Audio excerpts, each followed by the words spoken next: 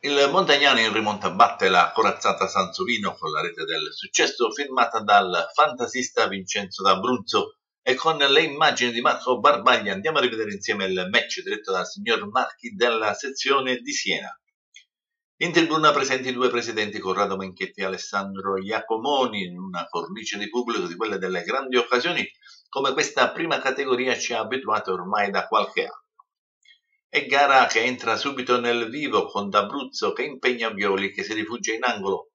Capovolgimento di fronte a Pascucci da sottomisura non inquadra la porta, insiste la Sansovino per vie esterne, ma il Montagnano chiude bene gli spazi e nelle ripartenze sfiora il gol e il palo salva Violi.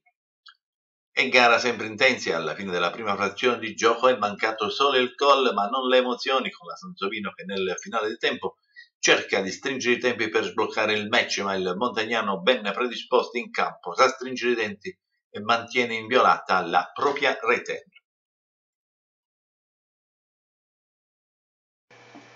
La ripresa si apre con il Montagnano in avanti e Capaccioli conclude dalla distanza bravo e reattivo Violi che annulla la prodezza dell'avversario.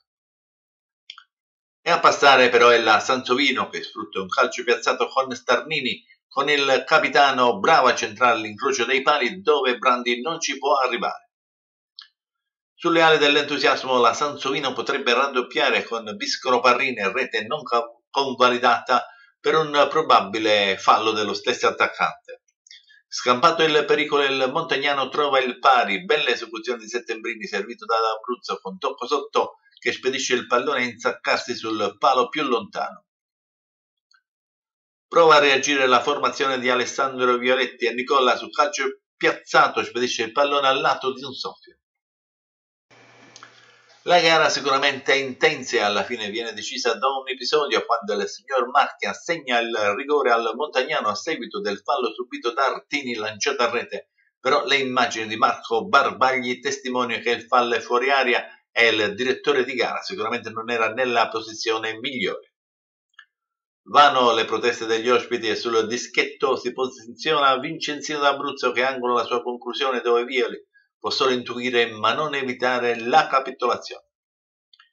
Nei pochi minuti rimasti la Sansovino prova a giocarsi il tutto per tutto nel tentativo di recuperare il risultato ma il Montagnano riesce a difendersi bene e porta a casa un successo che vale doppio, specie se pensiamo allo spessore degli avversari e soprattutto di questo girone di prima categoria.